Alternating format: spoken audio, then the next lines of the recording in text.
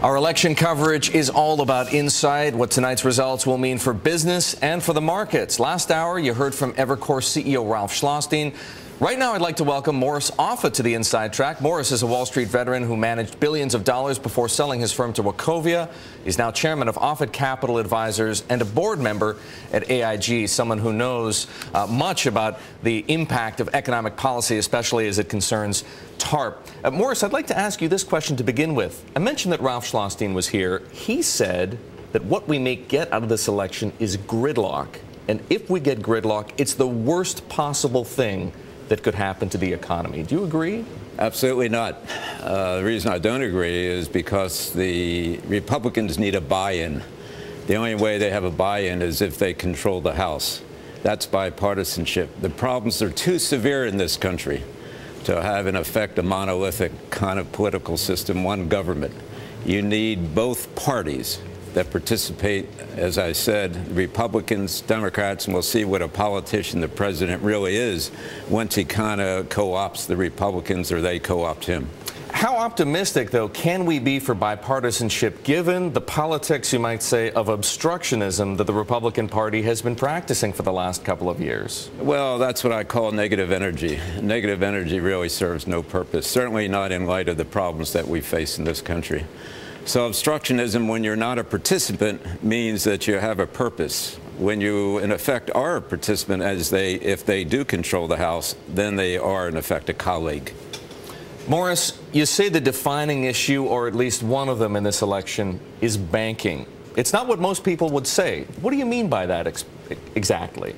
The banks are the engine. They're the ones who, in effect, create the credit. If you don't create credit, then in effect there's no flow through. Those there's no financial firepower for the corporations, both medium-sized and large. And it's more a medium-sized problem, not the large companies. The large companies, as you know, can go to the open market, and as they have, finance at 1 or 2 percent interest rates. How do you finesse this issue of banking, though? Because as you well know, there are legions of Americans who have nothing uh, but venom for the banking industry. They may want credit, but the last thing they want is for banks to be able to profit by lending them money. I think given what they've seen happen yeah, with TARP, think, given what they've seen happen with the bailouts. I think they're really targeting the large banks. The, the big four, for example, the Wells, the Citis, Chase, B of A's. But this country exists on the community banks. And that's in effect the heartland of America, not so much heartland meaning the middle of the country, but both coast. And it's the smaller banks that provide the credit. Do you believe the president lost the confidence of the business community? And if so, what could a presidency weakened by a divided Congress do to regain it?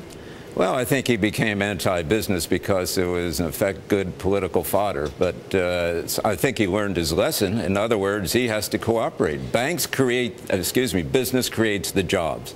There's no other answer. Government doesn't create jobs. Now, you were saying earlier that you're optimistic. You're hopeful that, in fact, the Republicans take the House so we do get a divided Congress and the parties are forced into acting in a bipartisan fashion. Are you confident that the Republicans have better ideas and the wherewithal to create jobs and get the economy going again better than the Democrats have? I think ideas are shared by both parties, and otherwise they also have access to very good advisors. So I think it's the sense of the collegiality, crossing the aisle, let's join hands, in effect, do what's in the best interest of this country. Learn how to create jobs through credit, credit creation and the whole string of uh, different uh, factors. All right. Well, Morris, many people share your hopes for bipartisanship. For their sake and for the sake of the country, I suppose, we hope you're right. Thank you for joining us here on the Inside Track. Morris Offit, the chairman of Morris uh, Offit Capital Advisors. He's a board member at AIG.